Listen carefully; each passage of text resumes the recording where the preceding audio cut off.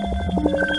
Привет, это канал Listen It, и сегодня мы слушаем статью «Веб-сайт и web application. В чем разница?» от автора Евгений Вишневый, который написал эту статью на сайте dineris.com. Спасибо автору за статью, ссылочка на статью, конечно, будет в описании к видео. Для большинства людей нет разницы между веб-сайтом и веб-приложением, но для тех, кто хочет создать свой онлайн-бизнес, так же как и для команды разработчиков, разница есть, и она непосредственно влияет на то, какими знаниями должен обладать разработчик. В этой статье мы расскажем вам о веб-сайтах, веб-приложениях и их достоинствах. Как мы уже заметили, на самом деле конечный потребитель даже не задумывается, что он использует веб-сайт или веб-приложение. Пользователь просто вводит URL в поисковой строке, но смысл в том, что сайт должен делать то, что предполагает пользователь. В то же время для команды, например, e-commerce разработчиков между создателем сайта и веб-приложения есть существенная разница. Помните это, когда у вас возникает вопрос, что лучше создавать для онлайн-бизнеса. Но чтобы сделать правильный выбор для вашей компании, стоит учесть ту информацию, о которой мы расскажем далее в статье.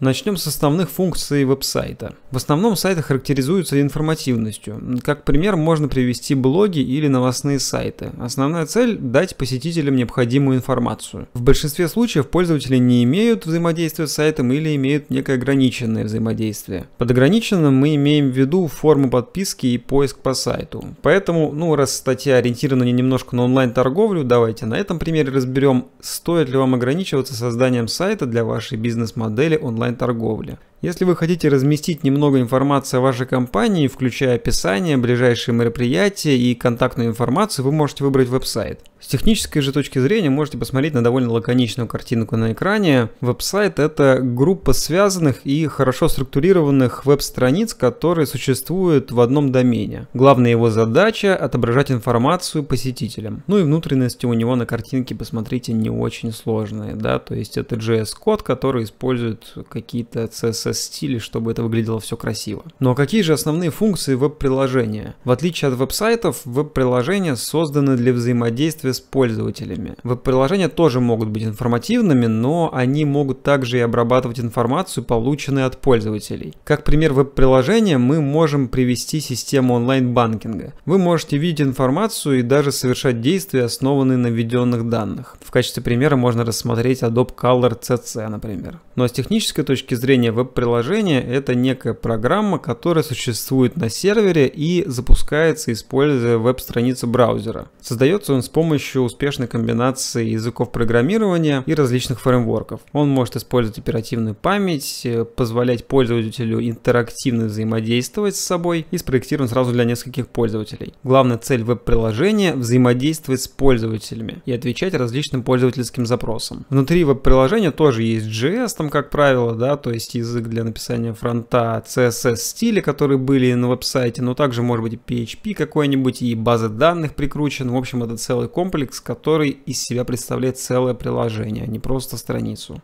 По сайту и веб-приложения вроде бы быстренько прошлись, давайте основные различия между ними. Первое – это интерактивность. Это разные степени взаимодействия со страницей. В то время как веб-сайты содержат текст и визуальный контент, с которым пользователь не может взаимодействовать, веб-приложения дают пользователю возможность не только читать, но и манипулировать информацией на странице. Это можно рассмотреть в виде диалога. Пользователь взаимодействует с интерфейсом сайта и получает ответ. Под ответом мы подразумеваем электронную оплату, онлайн-чат, загрузку документов, документов и другое. Онлайн-магазин, который позволяет пользователям покупать товары, совершать поиск через каталог, может быть веб-приложением. Еще один интересный пример это социальные сети. Они также включают в себя функции блога, чаты, контент на выбор пользователей и возможности делиться этим контентом. Сегодня большинство веб-сайтов обладает интерактивностью, ну потому что пользователям это просто нравится. Для этого владельцы сайтов добавляют небольшие веб-приложения на свой сайт. Еще на сайтах некоторых ресторанов есть виджет Google Maps, который помогает пользователям найти дорогу к ресторану. В то же время большинство сайтов скорее информативные, чем интерактивные. Таким образом, посетители сайтов больше увлечены просмотром, чтением информации или прослушиванием аудиофайлов, а посетители веб-приложения направлены на взаимодействие с пользователем. Второе отличие – это интеграция. Интеграция – это процесс объединения простых компонентов в один сложный. Ну, это если на пальцах. Разработчики могут интегрировать веб-приложения и сайты с программами, включая ERP, CRM или другие классы систем, Однако в большинстве случаев интеграция происходит именно с веб-приложениями. Но почему? Потому что их сложным функциям зачастую требуется дополнительная информация от сторонних систем. Например, самый популярный вид интеграции в электронной коммерции – это интеграция веб-приложения с системой управления взаимоотношениями с клиентами – CRM. Это помогает хранить данные о покупателях, информацию о заказах и улучшает работу команды продаж. Благодаря интеграции информация о пользователях веб-приложения автоматически собирается и сохраняется в CRM-системе. Подобная интеграция позволяет команде отдела продаж узнавать больше о поведении клиентов, их предпочтениях при покупке товаров и эффективнее работать с негативными отзывами.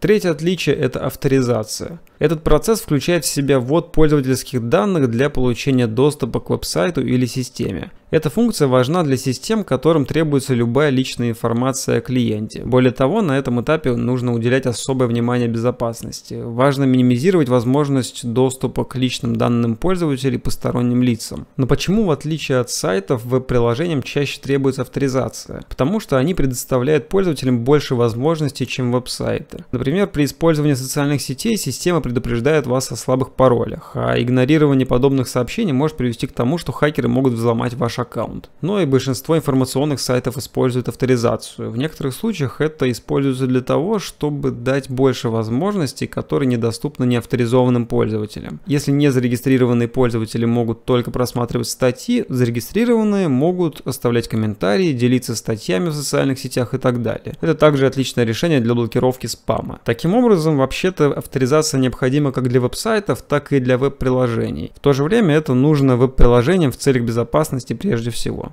А что если скомбинировать веб-сайт и веб-приложение? Получится ли? Вообще вполне может и получиться. Давайте объясним. Изначально сайты на WordPress должны отображать информацию посетителям, поэтому мы можем сказать, что это сайт. В то же время бэкэнд такого сайта оснащен CRM-системой, которая достаточно гибкая, поэтому у подобного сайта есть и функции веб-приложения. Поэтому мы постепенно приходим к тому, что большинство веб-сайтов сочетают в себя функции веб-приложения и веб-сайта.